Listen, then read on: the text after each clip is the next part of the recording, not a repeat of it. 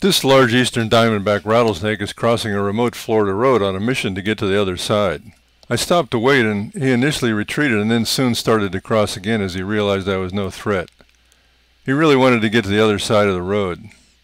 A telephoto lens allows me to appreciate a snake like this from a safe distance. This is Florida's largest venomous snake that may exceed six feet in length. The eastern diamondback is the largest of all rattlesnake species and one of the heaviest venomous snakes in the western hemisphere. The coloration is very similar to the western diamondback, but a few shades darker. The distinctive diamond pattern on the back, plus its great size, leaves no doubt about what snake this is. The tail ends in a rattle, which is often held above the ground, as we see here. The large and thick head is distinct from the neck and has a light bordered dark stripe running diagonally through each eye. The pupil is vertically elliptical and cat-like, and there's a deep facial pit organ located between the nostril and the eye. Rabbits are their favorite food, but they also eat rats and mice, and occasionally birds. Rattlesnakes are not aggressive and avoid direct contact with people and pets, but their massive size means they have very long fangs and produce a lot of venom, so bites are especially dangerous. It is widely considered the most dangerous snake in North America. Bite victims should seek immediate medical care.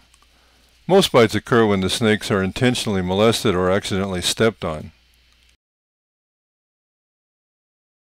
Eastern diamondback rattlesnakes are often found in pine flatwoods, longleaf pine and turkey oak hummocks, sand pine scrub areas, and coastal barrier islands. These habitats contain palmetto thickets and gopher tortoise burrows in which the rattlesnakes may seek refuge. This species is occasionally found in suburban neighborhoods where development encroaches into favorable habitats. If provoked, eastern diamondback rattlesnakes will coil their bodies and shake their tails, producing a loud buzzing sound.